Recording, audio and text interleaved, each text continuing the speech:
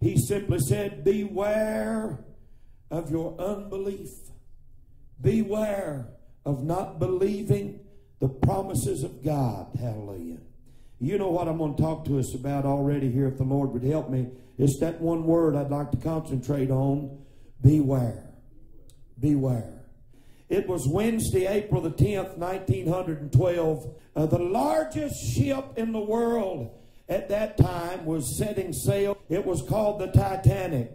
Uh, they launched forth with all kinds of pomp and circumstance and fanfare, and it was uh, a noised abroad around, uh, you know, the, the known world, the, the English speaking world, especially about the, the grandeur and the strength and the might, amen, of this great ship called Titanic. Amen. It looked like everything was going good until Sunday morning, April the 14th, 1912. That's when the wireless communication came from a ship steamer uh, called the Caronia that, uh, uh, that told of icebergs in the shipping lane, that the Titanic had been mapped out uh, to take. But when I read the story, it seems as if this first message was forgotten. And just after lunch on Sunday, April the 14th, another ship called the Californian called to the Titanic and they gave a very specific warning. Amen. Three icebergs have been spotted in your shipping lane. Not too long after that, another message came from a ship called the Baltic uh, very specifically stating there are icebergs in the shipping lane. Uh, beware, there's danger just up ahead. Hallelujah. No one on Titanic seemed to be concerned about these bewares. And that's when it happened. At 11:40 p.m. that Sunday night on April the 14th, a lookout that was up on the uh, bridge. He saw through his glasses, he saw the tips of those icebergs sticking out of the water, and he shouted over the intercom down to the engine room, Icebergs! Amen. When the captain heard the warning, this time he signaled to the engine room, Stop engines! Amen. Them, them engines come to a grinding halt, and then the captain sent the signal, reverse the engines. But it was too late, praise God. At a speed of 20 knots, at about 23 miles an hour, the Titanic struck these icebergs whose jagged edges underwater, amen, pierced the starboard side of that, You know what one man said? The man that was over the company that built this ship, he said, not even God himself could sink the Titanic. Come on, say amen. It was built as the unsinkable ship. Amen. But because they refused to heed the warnings, because, amen, they stopped their ears to the bewares, the ship went under. It's sinking fast. And uh, 12.30 a.m., uh, they came a call over the intercom. Amen. All souls on the top deck and bring your life belts with you. In that day, they, they didn't have life vests like we know them. They had belts that uh, big belts that would float. Amen. All, all souls on the top deck and bring your life belts with you. I read that by 2.20 a.m. Now listen, they gave the call. Amen. Everybody up, everybody to the top deck at 12.30. By 2.20 a.m., about two hours later, amen, they saw that there was no hope. Amen. Titanic is going under and there's no stopping it. People are feeling lifeboats. Amen. Trying to make their escape. And there was a band, amen, that struck up a song, those men with those instruments. You know what they got to play in there?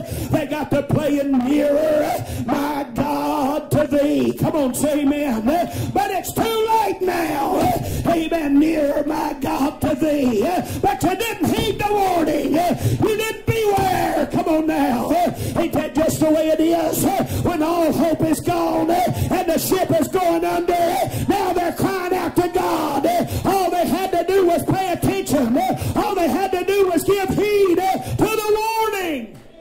thought about all these warnings, all these bewares that came from so many different ships, so many different places. Amen. But they were all ignored. I said, Oh, what a terrible tragedy that is. Hallelujah. Amen. But can I preach to you this morning about a greater tragedy still? Amen. How about those that are in this building that have heard the bewares of God? How about souls in this building this morning whose grandma and grandpa is already in heaven that shouted around these altars, whose mom and daddy raised them in the house of God? Man, I feel the Holy Ghost here. Eh? And you've sat here eh? Sunday after Sunday, eh? camp meeting after camp meeting, and still preacher after preacher has stood behind this Bible stand and shouted, Beware! Beware! Beware! And you're still sinking. You're still going under. You're still not paying attention to the love of God. I saw the first beware in Deuteronomy 6 and 12. Amen. He's speaking to Israel. Of course, he said, Beware lest thou forget the Lord. I'm living in a society in America where people live as if they don't need God. Amen. My generation, my society seem like they're doing everything they can to forget about God. Amen. America has forgotten her dependence on God, her need for God, and her obligations to God. Did you know that the forgetfulness of God is the cause of all sinfulness, all the corruption all around us. It's because men have forgotten God. What profit is it in for us to pray? Why should we serve the Almighty? Hey, brother and sister, that sounds like my generation. That sounds like my generation. Amen. Why should we go to church? Why should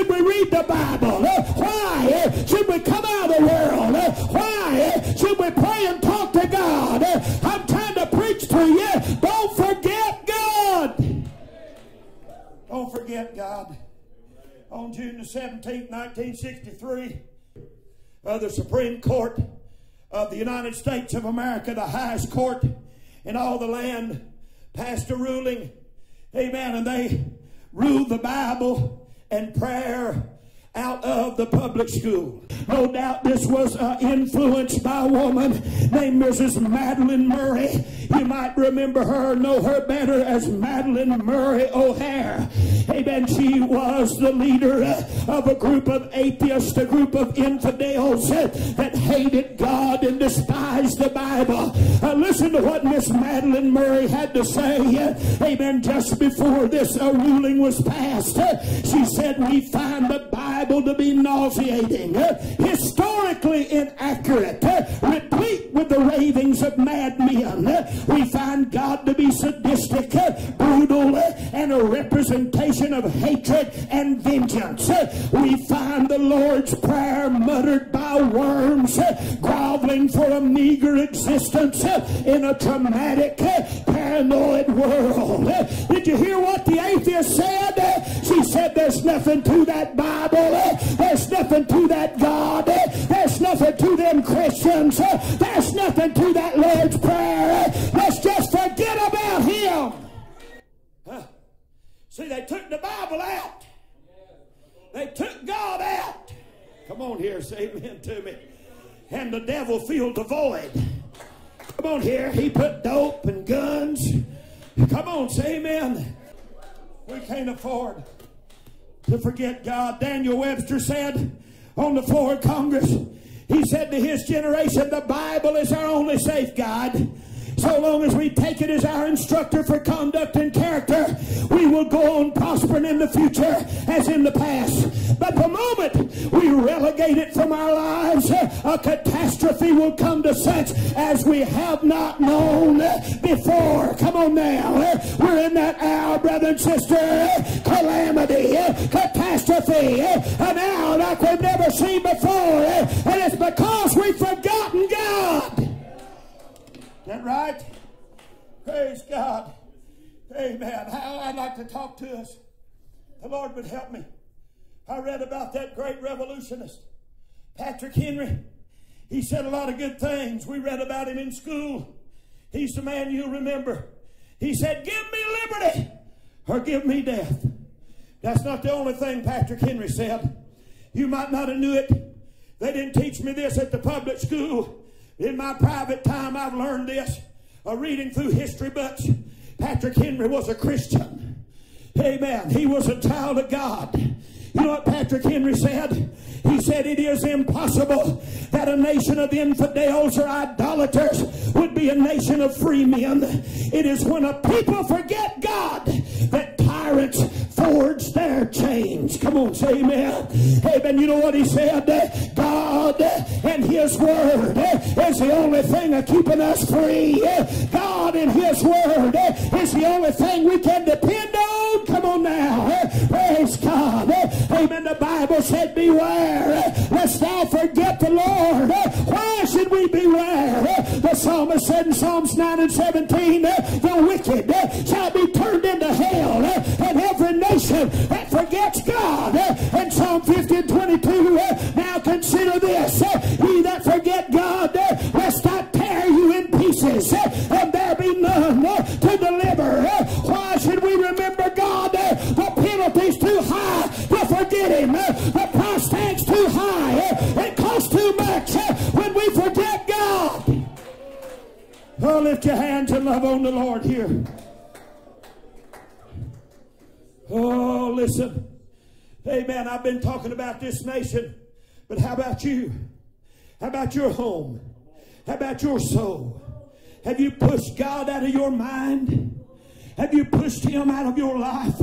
Have you forgotten God? Huh? One of these days He's going to tear you to pieces. Ain't that what the Bible said? Come on now.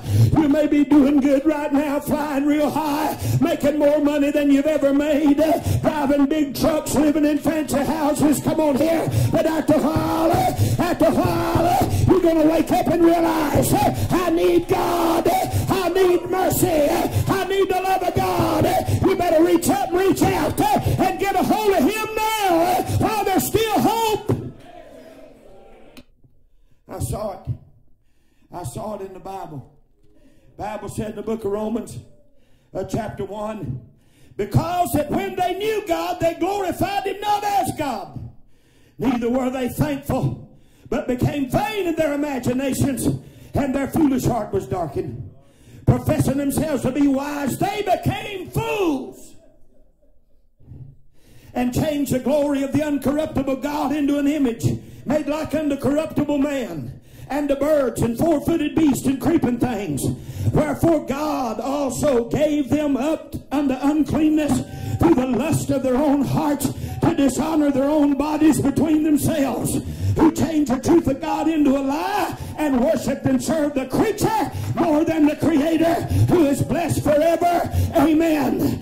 Amen. For this cause God gave them up unto vile affections. For even their women did change the natural use into that which is against nature. And likewise also the men, leaving the natural use of the woman, burned in their lust one toward another. Men with men, working that which is unseemly, and receiving in themselves the recompense of the error which is meet. And even as they did not like to retain God in their knowledge, God gave them over to a reprobate mind things which are not convenient. Hey, but did you hear how many times God gave them up? God gave them up. God gave them up. God turned them over. I don't want to get past feeling. Amen. I don't want him to quit me. I don't want him to give me up. But I want to retain him in my knowledge. Beware lest you forget God. Beware. I'd like to remember him, wouldn't you? Amen. But thou shalt remember the Lord thy God. That's what Moses said in Deuteronomy 8. and 18. Praise God. The writer of Ecclesiastes said in Ecclesiastes 12 and 1, Remember now thy Creator in the days of thy youth. You remember what Jesus said? I, I don't know if it's on the front of that communion table or not. Man, he was talking about the Lord's Supper. You know what he said? This do in remembrance of me.